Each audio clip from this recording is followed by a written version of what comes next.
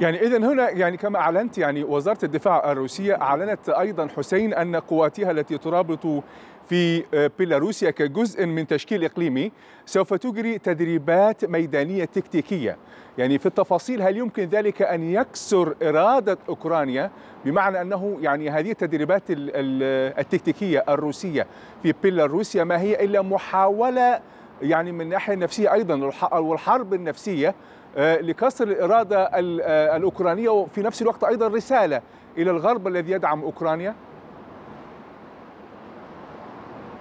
بالتأكيد حساني بالتأكيد كما تحدثت جميع الخطوات الروسية ولا سيما منذ الرابع والعشرين من فبراير الماضي أي تاريخ بدء العملية العسكرية جميع الخطوات الروسية في التصنيف الأول لأي خطوة تقوم بها القيادة الروسية يعتبرها الخبراء على أنها رسالة إلى الغرب ولا سيما التصريحات العالية اللهجة للرئيس فلاديمير بوتين في الأيام الأخيرة عن عن تصريحاته وعن حديثه بإمكانية تعديل العقيدة النووية للجيش الروسي وتحويلها إلى عقيدة استباقية أو إلى ضربة استباقية. أيضا تصريحات نائب رئيس مجلس الأمن الفيدرالي ديمتري ميدفيديف جميع الخطوات وجميع التصريحات الروسية تأتي في إطار الرسائل إلى الغرب وتحديدا إلى الولايات المتحدة بالتأكيد المناورات العسكرية الروسية البيلاروسية وأيضا وجود قوات روسية في الأراضي البيلاروسية هو ليس إلا رسائل نعم. إلى الغرب وإلى واشنطن تحديدا على أن بيلاروسيا أيضا دولة حليفة لروسيا وأيضا عدد كبير من الدول تصنفها موسكو على أنها دول شريكة لا يمكن للمشروع الأمريكي بأن يعزل روسيا عن باقي دول العالم وتريد روسيا أن تؤكد إلى إلى واشنطن على أن مشروعها قد فشل في عزل روسيا نعم. وأن أي مواصلة لتقديم الأسلحة يمكن أن يكون شعلة في التدهور التدهور وفي الاشتباك المباشر بين روسيا وبين واشنطن هل له صلة حسين هذا بإعلان وزارة الدفاع الروسية أيضا بأن روسيا والصين سوف تجريان مناورات بحرية مشتركة سوف تشتمل على إطلاق صواريخ وقذائف مدفعية في بحر الصين الجنوبي هل هذا له علاقة أيضا بما يحدث من تدريبات أيضا مع الجانب البيلاروسي؟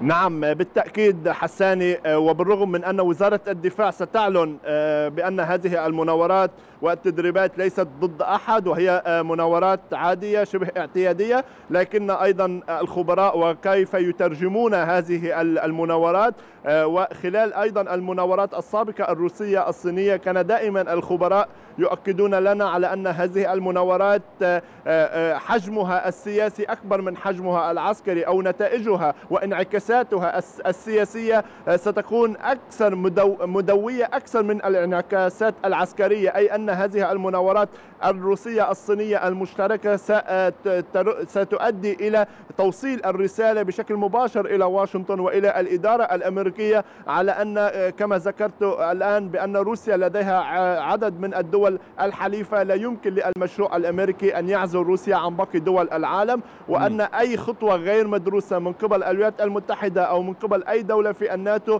ستكون هذه الخطوة أو, أو انعكاسات هذه الخطوة ستكون كارثية على العالم بشكل كامل أي أن هذا الأمر سيؤدي إلى اشتباك مباشر بين روسيا وبين الناتو أو بين روسيا وبين واشنطن. وهذا الأمر سيؤدي إلى اندلاع حرب عالمية ثالثة. هذه الحرب ستكون حرب نووية ووزير الخارجية سيرجي لافروف وبالرغم من أنه رأس الدبلوماسية الروسية وتصريحاته دائما حساني تكون دبلوماسية لكنه حذر خلال الأسابيع الأولى للعملية العسكرية من أن الحرب الآتية أو التو... الاشتباك المباشر بين روسيا وواشنطن سيكون حرب حرب نووية نعم. مدمرة. هو تحذير أيضا وصفه البعض على أنه تحذير خطير من قبل رأس الدبلوماسية الروسية سيرجي لافروف.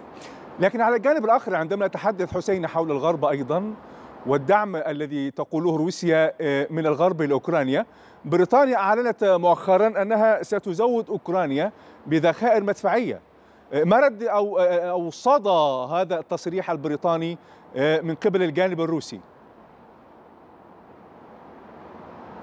نعم السلطات الروسية تؤكد على أن أي أسلحة غربية أو منظومات صواريخ أو أي مساعدات عسكرية غربية ستقدم إلى الجانب الأوكراني ستكون من ضمن الأهداف المشروعة للجيش الروسي. الجيش الروسي سيكثف ضرباته على هذه الأسلحة وعلى هذه الشحنات العسكرية لتدميرها وقبل دخولها الأراضي الأوكرانية. أيضا هذا الأمر وهذه الخطوة البريطانية ستؤدي أيضا إلى تعقيد الاستقرار وإلى أيضا وإلى تعقيد الوضع والنزاع الروسي الأوكراني. أيضا الحديث عن المفاوضات وعن إمكانية استئناف المفاوضات الخطوة البريطانية أو الخطوة الأمريكية بإمكانية تقديم منظومات صواريخ باتريوت إلى الجانب الأوكراني. جميع هذه الخطوات تنسف بشكل كامل أي مفاوضات يمكن الحديث عنها في الوقت القريب. وهذا ما كنت أتحدث عنه خلال وقت سابق بأن الجميع لديه القدرة الآن لاستكمال النزاع وأن الحديث عن المفاوضات هو فقط للاستهلاك المحلي وأيضا للإعلام. الجميع لديه القدرة الآن على استكمال النزاع والجميع يريد تحقيق مكاسب جيوسياسية واقتصادية في الأراضي الأوكرانية. روسيا من جهة أيضا لديها بعض الأهداف وأيضا المصالح تريد أن تحققها في أوكرانيا وأيضا الغرب وكذلك الولايات المتحدة لديهم أيضا المصالح الاقتصادية والجيوسياسية يريدون تحقيقها أيضا في الأراضي الأوكرانية. خطوة بريطانيا بالتأكيد ستؤدي إلى تعقيد العلاقات الدبلوماسية بين روسيا وبريطانيا بالرغم من أن هذه العلاقات وصلت إلى درجة الصفر أو إلى مرحلة الحضيض كما يصفها الخبراء. وأيضا هذه الخطوة ستؤدي إلى رد روسي عنيف سيقوم الجيش الروسي باستهداف الشحنات وبالمساعدات العسكرية. وأيضا هناك خطوات أخرى يمكن للجيش الروسي أن يرد بها وهي تكثيف الضربات الصاروخية على المراكز التابعة إلى الناتو في الأراضي الأوكرانية. لا سيما أن الضربات الروسية الآن تقتصر فقط على منشآت طاقة منشآت ذات صلة بالجيش الأوكراني لغاية الآن روسيا لم تستهدف أي من المراكز التابعة لحلف الناتو في الأراضي الأوكرانية نعم. بالرغم من أن بعض المصادر تؤكد لنا حساني على أن الجيش الروسي استهدف في الأشهر الماضية بعض المراكز الحساسة التابعة للناتو في الأراضي الأوكرانية ولا سيما في الجزء الغربي من أوكرانيا لكن هذه الاستهدافات أو هذه الضربات لم يتم الإعلان عنها من قبل جميع الأطراف نعم. إن كان الطرف الروسي وأيضا الطرف الغربي طيب.